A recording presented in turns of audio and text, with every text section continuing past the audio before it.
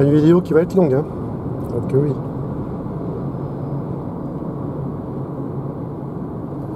Voilà, Saint-Dizier, vue du pont SNCF.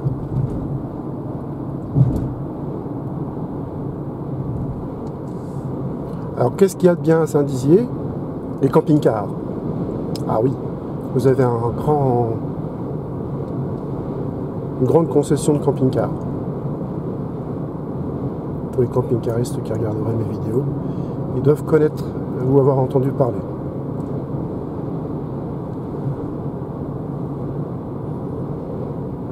Les entreprises, bien entendu. hein.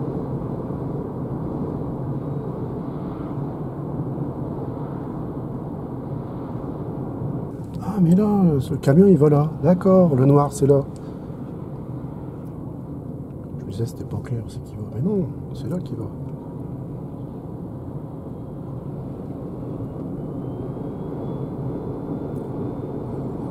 Bon, bah alors, dès que je retire le mode économique, c'est plus fort que moi, faut que. Il faut que ça y aille.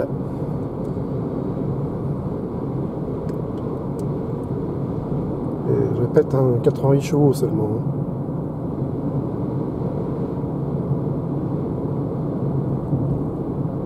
Pour une tonne et demie. Dans 300 mètres, au rond-point, prenez la troisième sortie. Puis au rond-point, prenez la troisième sortie.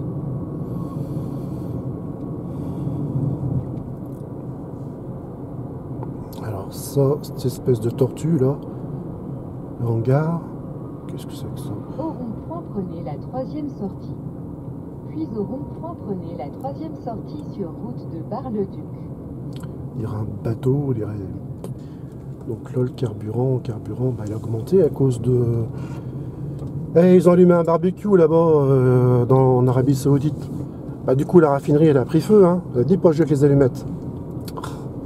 J'aurais pas plaisanté, mais bon, quand même. hein.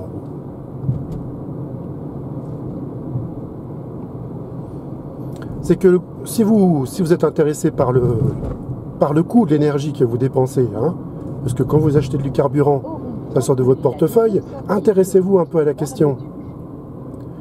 Ce que vous faites sur Internet, puisque tout le monde a Internet, smartphone, pour ordinateur, on s'en fout.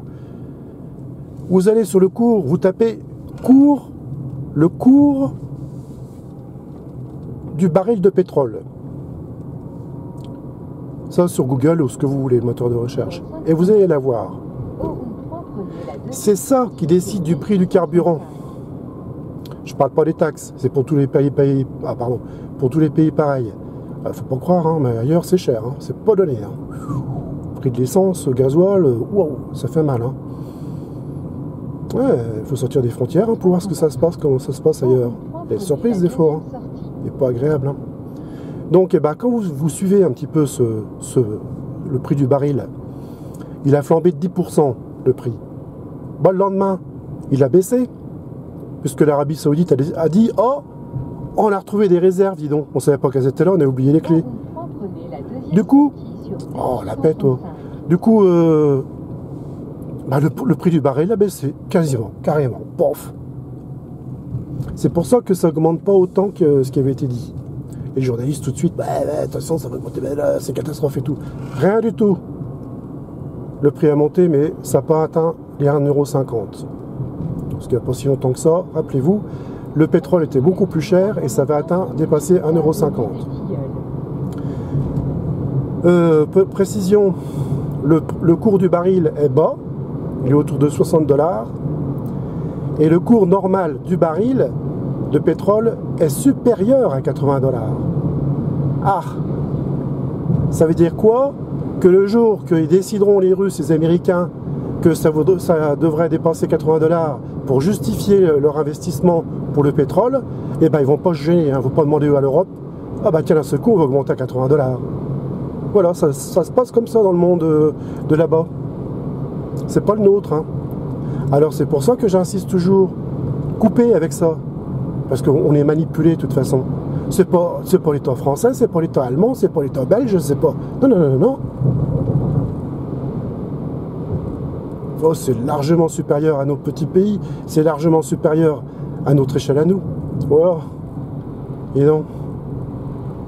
Ah, ils font, les ils font la tronche hein, quand on en parle d'électricité. Ils aiment pas. Hein. Ah. Et nous, on aime bien. On sait pas avoir.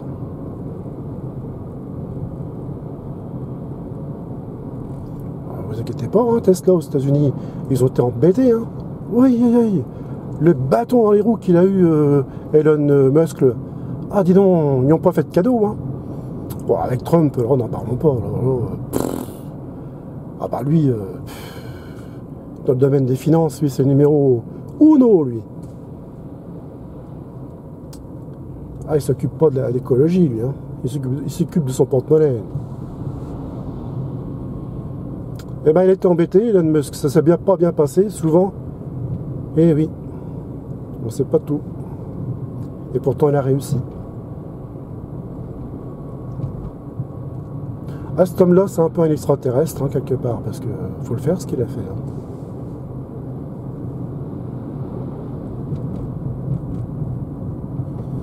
Pendant que je discute, euh, bon, j'espère que la caméra, elle filme toujours. Batterie, elle tient le coup. Vous prenez ce que vous voulez sur mes informations. Hein. Oui, oui, c'est un petit peu comme si je discutais avec vous dans la voiture.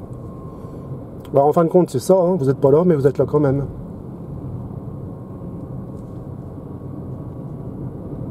Voilà, maintenant je roule quasiment contre le vent, direction Bar-le-Duc.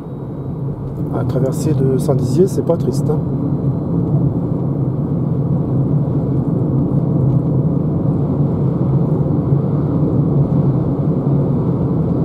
quand il y a du vent de face. Ah, j'ai pas mis le mode euh, économique, mais c'est pas grave. Euh, même si vous ne mettez pas le mode économique, si la barre du tableau de bord au-dessus, la couleur verte, vous voyez, un dégradé de vert, ça indique que vous roulez en mode économique. Même en mode normal, vous avez une conduite économique. Beaucoup de personnes roulent en mode normal en permanence. Elles ont le pied léger sur l'accélérateur, ça se fait naturellement. Hein c'est aussi un apprentissage.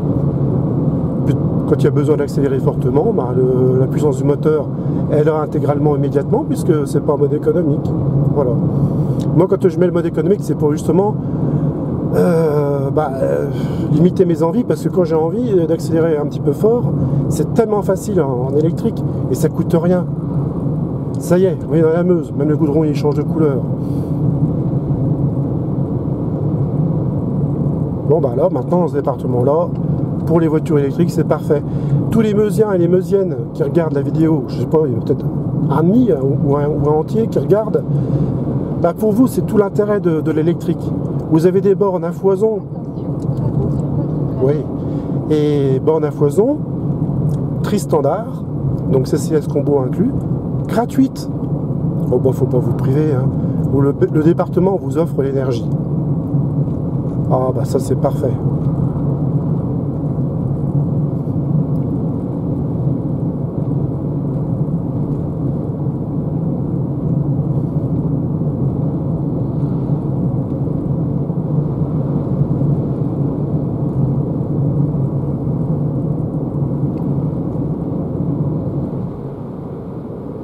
J'ai pas eu besoin de freiner une seule fois, malgré que la personne qui est devant moi roule tranquille en thermique, j'aurais dû freiner. Et là, non. En électrique, on n'a pas besoin, ça recharger. Voilà. Tout se fait en douceur, en silence, confortablement. Pas de stress. Même quand on se trompe avec le GPS, pas de stress. Ah, je suis pas le roi de, euh, du, GPS, moi. Non, non, non, non, non.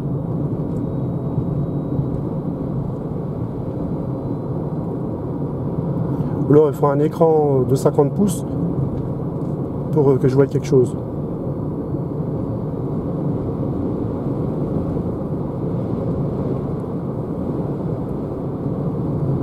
Je me rappelle, une époque, quand on partait sur la côte d'Azur, ah oui, pas en vacances, euh, trois semaines de vacances, l'usine fermait. On partait sur la côte d'Azur, bah, la veille avant de partir, on préparait le parcours, la route sur papier, avec une carte en papier, parce qu'on partait à trois ou quatre voitures à essence. Il fallait 12 heures, 12 heures de route, entre 10 heures, 12 heures de route pour, pour arriver. On prenait jamais l'autoroute, c'est trop cher. Puis les voitures, euh, bah, à l'époque, je parle de ça, c'est vrai, euh, je partais avec la caisse à outils. hein. Ah bah oui. Hein. Non mais rigolez pas, hein, c'est vrai.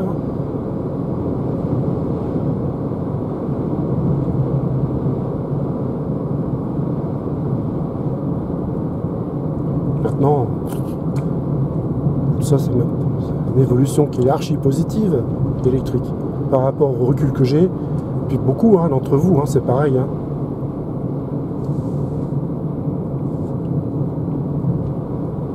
C'est pas vilain par ici. Ça monte, ça descend. Quand ça monte, ça recharge pas, mais quand ça descend, ça recharge bien. J'ai pas envie de doubler la personne qui est là. Ah, pas du tout. Sa vitesse me convient parfaitement style de conduite. Je laisse un bon écart pour pas lui mettre de pression, pour pas le- l'embêter. Là, c'est parfait. Franchement, euh, en thermique, ah non, on peut pas. hein. Ou quasiment pas. Ou alors, il faut avoir une boîte de vitesse automatique. Parce que vous seriez toujours entre 4e, 5e, 3e. Voilà. Et je pense que sa voiture doit être équipée d'une boîte de vitesse automatique. Ça, ça a un plus aussi. Hein. Un sacré confort pour les thermiques.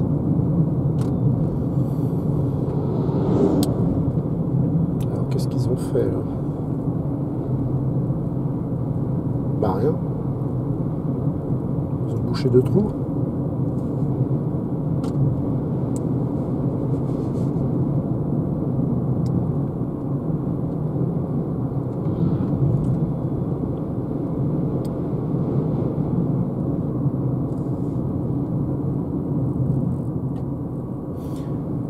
Ah, ici, c'est du gravillon gris. Ah, c'est marrant d'une région à une autre, comment ça change de couleur. Alors, je vous parle de ça, c'est comme ça, ça mange pas de pain. Mais c'est vrai que les origines du, gra- du gravier, du gravillon, c'est marrant, ça, puis la manière qu'ils rafistolent les routes. Toujours dans la Meuse, toujours en direction de Bar-le-Duc. La Meuse, un très beau département. Pas riche et pourtant ils ont des bornes, je répète, hein, gratuites et tri standard. Et les maisons, hein, c'est abandonné. Hein. C'est dommage, hein, parce qu'elles sont belles en pierre comme ça, ça bouge pas. Il y a de l'eau là Un peu. Il y a un peu d'eau. Vallée de la Saule. J'aime bien ces coins-là quand c'est sauvage comme ça. Par contre, c'est un département qui est pas plat. Pas pour faire du vélo. Vélo électrique.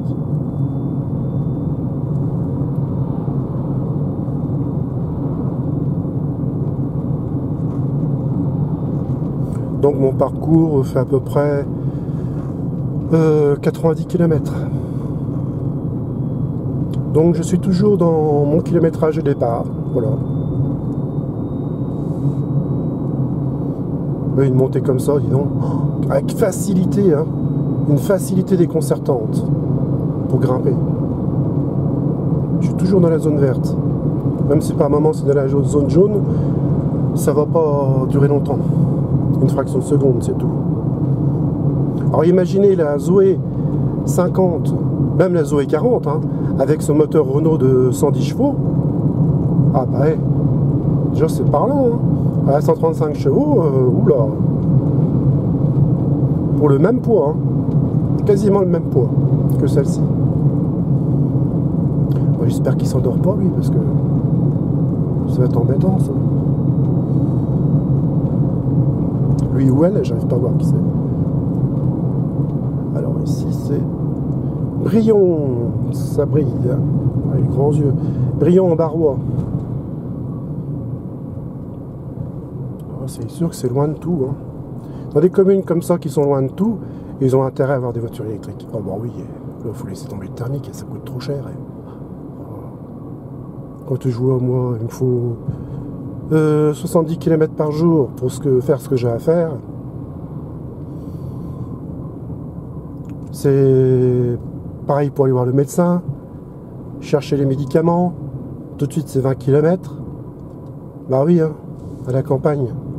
C'est une, aberration de rouler en thermique. Ah, ça va, les, les d'occasion, il y, en a, il y en a un stock. Bon. Et puis, ce qui est bien, c'est que avec l'arrivée du mois prochain, mois d'octobre 2019, de la nouvelle Zoé, vous allez avoir un gros stock de Zoé 40, toute belle, avec 400 euh, km d'autonomie, Android, tout, tout ça, à foison, à des prix défiant toute concurrence. Là, vous allez vous faire plaisir. Si vous voulez acquérir une électrique, ce sera le moment. là, il y en aura un paquet. Hein. Que ce soit les concessions ou chez les particuliers.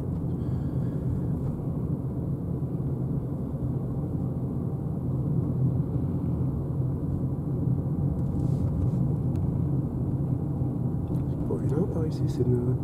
Oh, il n'y a plus d'eau à la fontaine. Ah, c'est une fontaine avec euh, une roue. C'est marrant ça.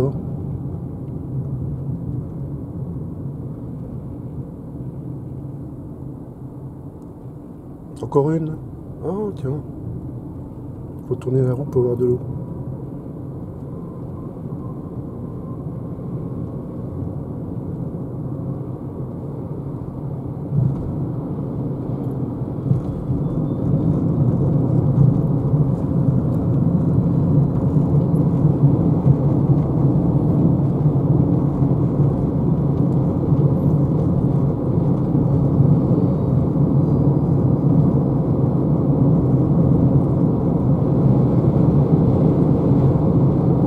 Le vent doit s'entendre dans le micro. Hein.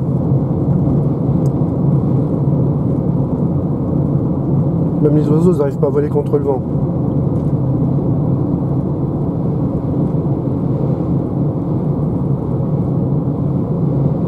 Ça fait penser à la route de Chalon-en-Champagne, ça.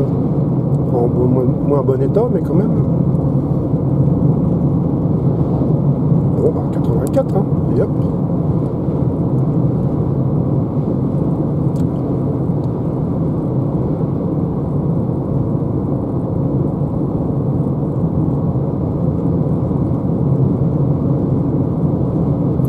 sur euh, mon parcours habituel, dans le département de l'Aube, je croise beaucoup, de plus en plus de Tesla Model X, la plus chère des Tesla. Oh bah elle est superbe. Malgré les années, c'est une voiture... Euh, oh, elle est belle. Hein. Ah oui, parce que du fait qu'il y a des bornes de recharge dans les magasins d'usine à 3, du coup il passe dans le coin et se recharge sur euh, les bornes. Alors je croise régulièrement des modèles X et modèles S-. Ce sont des modèles qui vont être renouvelés euh, l'année prochaine. Voilà, Tesla, euh, constructeur, va renouveler sa gamme. Alors, il y a aussi une, chose étonnante, c'est qu'ils ont déposé des brevets sur les batteries. Parce que Tesla euh, va être le premier constructeur au monde à créer des robots taxis. Ah bah oui, hein, autopilote, complètement. Niveau 5.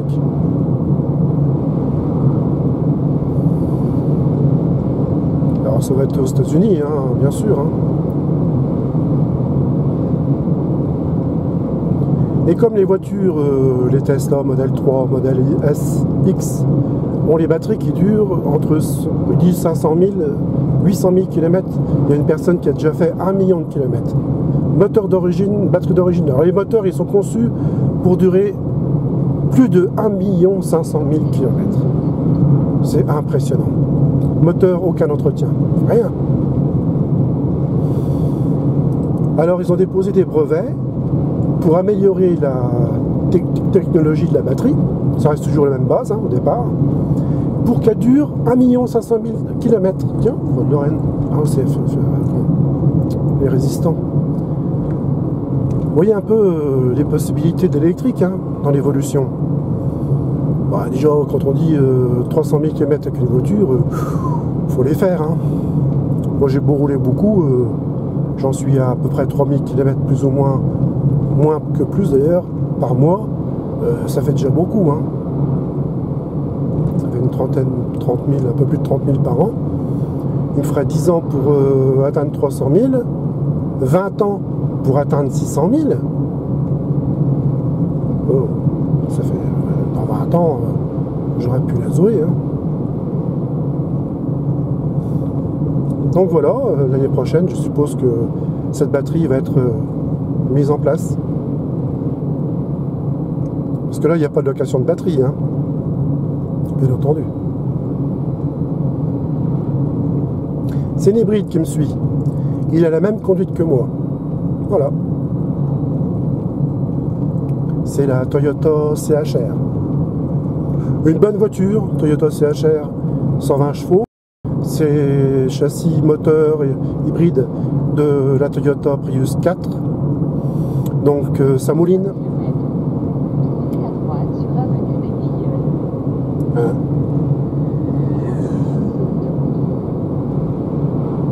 C'est vert, hein. Oh, il y a du vert partout, hein. c'est boisé.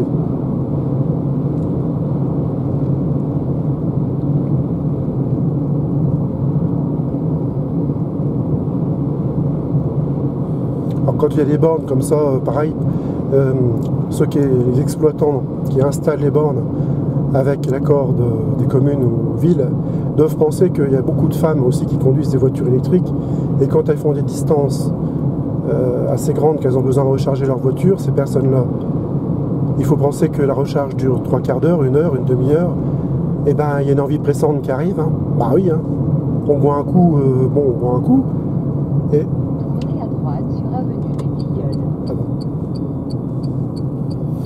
Et donc ça fait que s'il n'y a pas de toilette à proximité, comment qu'elles font ces personnes-là? Ah bah il me suit, c'est cher, c'est bien ça. Bah font pas pipi dans la voiture. Hein. Ah, une femme, c'est. C'est pas monter comme, comme un homme. Hein. la deuxième sortie sur côte de Paulval. Voilà. Bien compliqué là. C'est pas vilain ici. J'aime bien quand c'est posé comme ça. Avec des, arbres de chaque côté, ralentisseurs, non? J'ai peur de ça. Donc ça aussi, c'est pour ça que les stations de recharge dans les stations-service, ce serait vraiment une obligation. Parce que dans les stations-service, il y a les toilettes, où ça peut être équipé de toilettes. Il peut y avoir le nécessaire pour euh, s'alimenter, se ravitailler. Ça peut permettre à des personnes, des gérants, de rester sur place et pas disparaître avec la, station-service quand elle ferme. Voilà. Ah oui, hein. Ça peut relancer une certaine économie. Allez dire ça au pétrolier, tiens.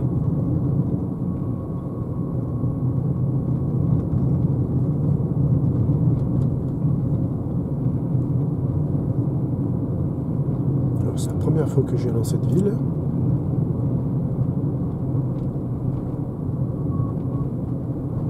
Toujours en direction de la gare.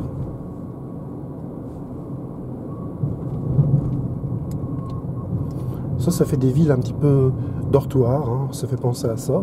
C'est beau comme tout. Moi, je vois les, éoliennes au fond là-bas. Dans 300 mètres, au rond-point, prenez la deuxième sortie. Ah, c'est les 100 fort, je suis obligé de freiner. Oula, oui, ça, voilà, c'est les 100 raides.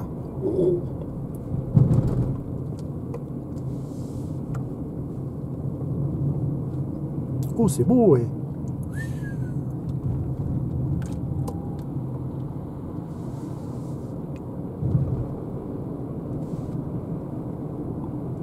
Qu'est-ce que c'est Préfecture? Au rond-point, prenez la deuxième sortie sur côte de Paulval. Deuxième sortie c'est pas celle-là, c'est celle-là.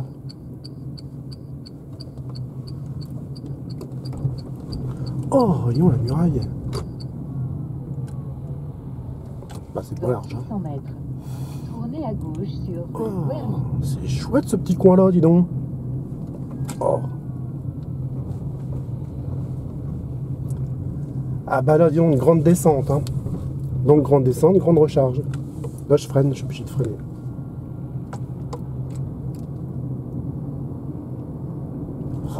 là, c'est vraiment dans un trou. Hein. Comme on dit, t'habites où? Bah, dans un trou. Et on n'est pas au fond.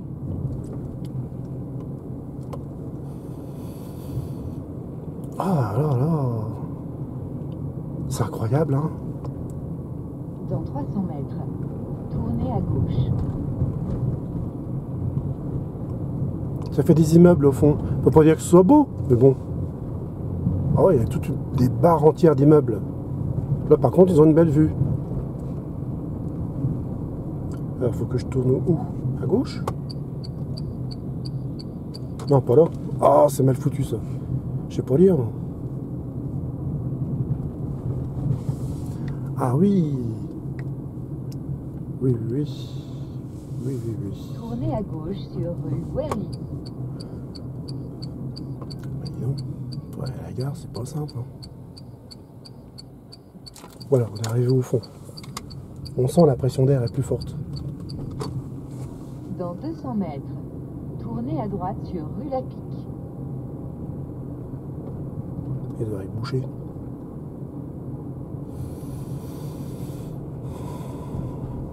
Ah, il y a une maison.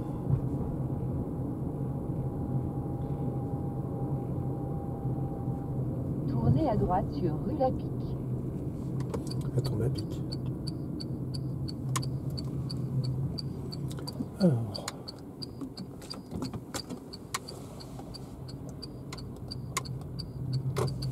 Ensuite, tout droit.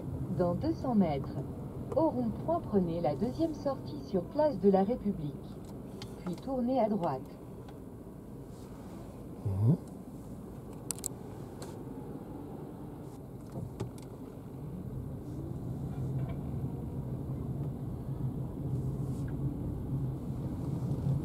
Ah voilà, face là-bas la gare. Et là on passe par-dessus. Normalement c'est la Meuse. Oh, oh le non, on peut traverser à pied. Je sais pas si c'est la Meuse. Bah la gare on peut pas la rater, prenez la deuxième sortie sur place de la République. c'est une forme de gare. Tournez à droite. Et la borne, normalement, les bornes se situent juste à droite. C'est tout neuf, hein, tout a été refait. J'ai vu sur Google Maps. C'est bien de pouvoir euh, voir à l'avance un petit peu nos trajets. Et, euh, et bah oui, je me suis trompé de côté. Non, c'est ça? Oui, c'est ça. Alors, normalement, les bornes se situent quelque part. Vous êtes arrivé. Oui, Votre destination est sur votre droite. Ici. Oh bah il n'y a personne.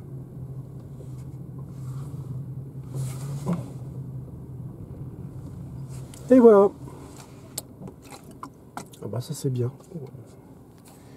Bon, je vous reprends tout à l'heure, après le branchement du câble.